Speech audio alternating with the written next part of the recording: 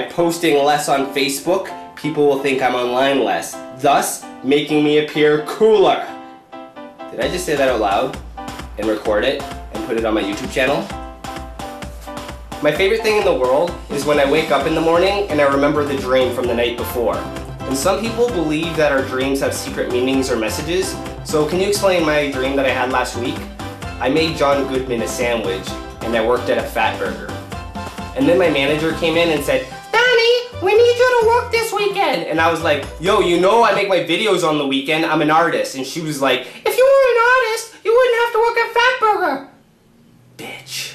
I never really talk about personal stuff in my videos, so I thought I'd tell you guys a little about myself. I used to be a fat kid who loved cake.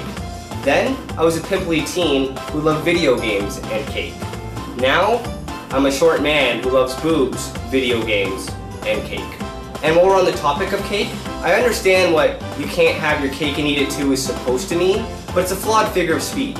If I have a piece of cake and someone tries to stop me from eating it, I'm gonna stick my fork in their nostrils and then finish my cake.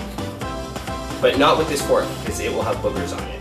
Actually, I don't just love cake, I love all baked goods, and I don't see what the big deal is. I'd let Ariana Grande lick my donut any day. And by donut, I mean my penis. It is hot and I don't have air conditioning.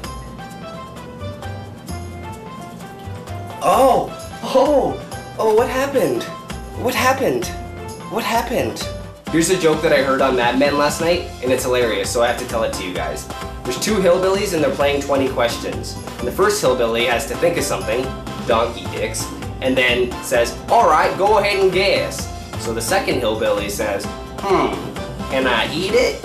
And the first hillbilly goes, I'm reckon you can. Then the second hillbilly says, donkey dicks?